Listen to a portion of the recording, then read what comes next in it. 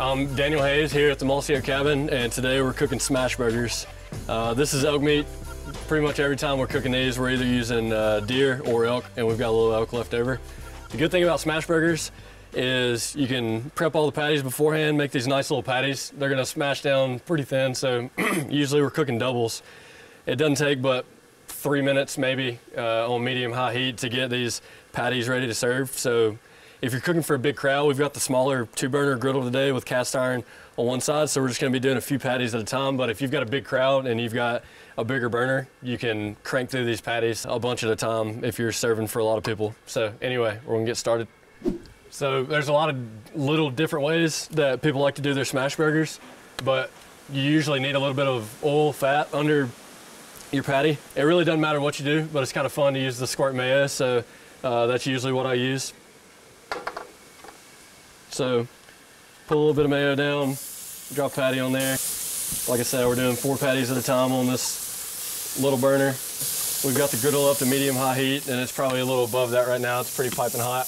What I usually like to do, you can do it either way. If you drop the onions down on top, it'll usually keep the meat from sticking to the spatula.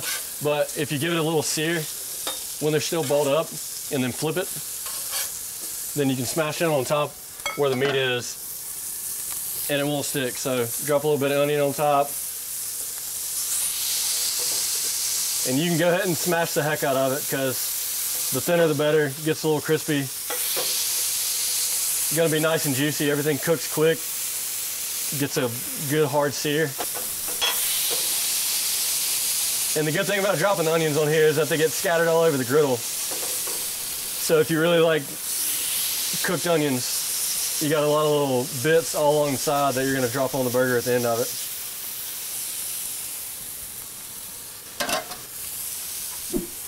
So it really just takes about two minutes and you'll see the edges of the burgers will start to look done before you're ready to flip. About two minutes when you're cooking on medium high. All we put on top of there is salt and pepper and you can wait and throw that on after they're already smashed down on the griddle. Sprinkle a little bit.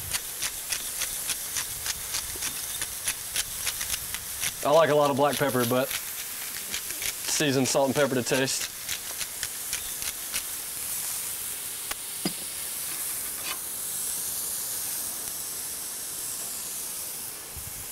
All right, so these are ready to flip. What we're gonna do when we flip them over is flip and then immediately add the cheese. And usually, right when the cheese gets melted, the burgers are ready to eat. They don't need but about a minute on this side. And we're making doubles, so if you want to get light on the cheese and just toss one slice on there, that's cool, but you know, I say the more the merrier. Usually about this time, we'll have another burner on low, get that good and buttered, and then drop a couple of your buns face down on there. Makes it a little less messy than putting the butter on the outside. Gets it nice and toasty.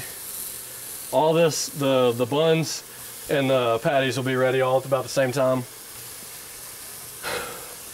So if you've got a, a platter to drop them on when you're finished, everything kind of, buns are toasty, cheese is melty. You can flip the patties over right on top of each other and then drop them straight onto the bun.